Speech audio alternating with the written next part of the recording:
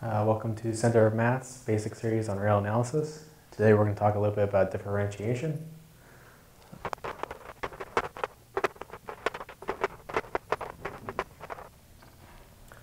So given a function f, which is a real valued function defined on a, an open subset of the real numbers, we say f is differentiable if the, uh, the fraction f of x minus f of x naught over x minus x naught, uh, the limit of that as x approaches x naught from in whatever se uh, sequence.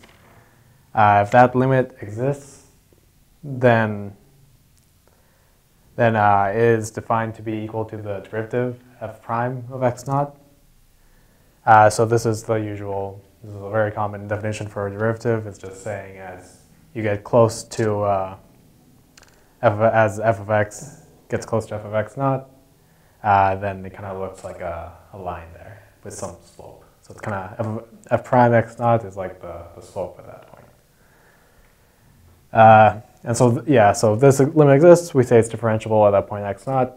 We say it's differentiable in the interval if it's differentiable, differentiable at all points in that interval, and so forth.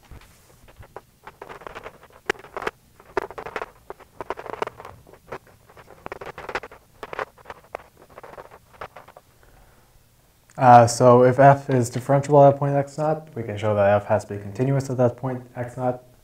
Uh, so since f is differentiable, we have some f prime at x naught such that f of x minus f of x naught over x minus x naught minus f prime of x naught. The absolute value of that is less than some e1 for uh, x minus x naught less than delta 1. So they're close enough, uh, the fraction fx over f x naught over x minus x naught will get arbitrarily close to our limit.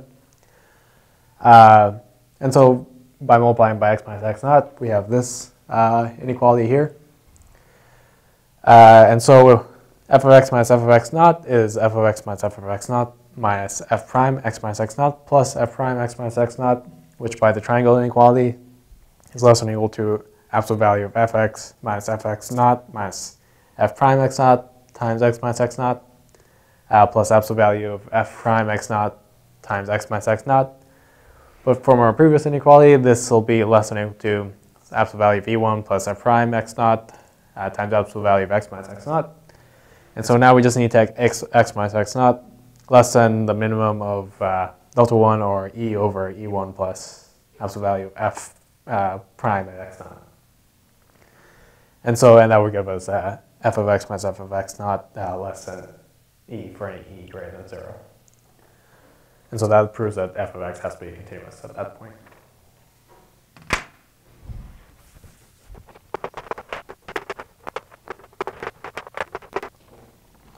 So one often used result, uh, so if f is defined in some open subset of the reals, and it has a maximum or minimum at some point x naught on this open subset which is defined, and if we, as, if we know that f is differ differentiable at this max or min, then we'll have the f prime at x naught will have to equal zero. It can't be positive or negative because that would contradict it having a max or min at that point.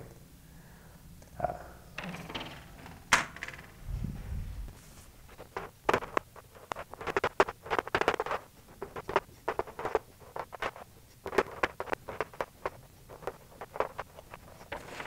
so uh, if we assume f prime of x naught does not equal 0 at our point uh, x naught, we, so we have some uh, delta greater than 0, such that for x minus x naught less than delta, we have uh, f of x minus f of x naught over x minus x naught uh, approaches f prime of x naught, the absolute value of their difference being less than f prime of x naught over 2.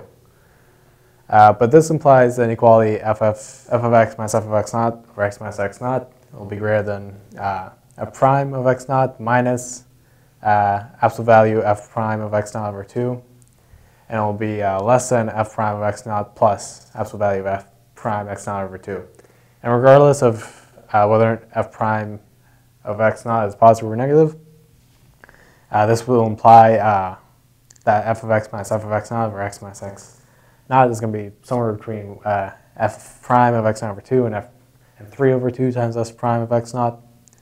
So it's going to, so this, the main point we want from here is that this fraction is going to have a constant sign in our little open uh, set around x naught.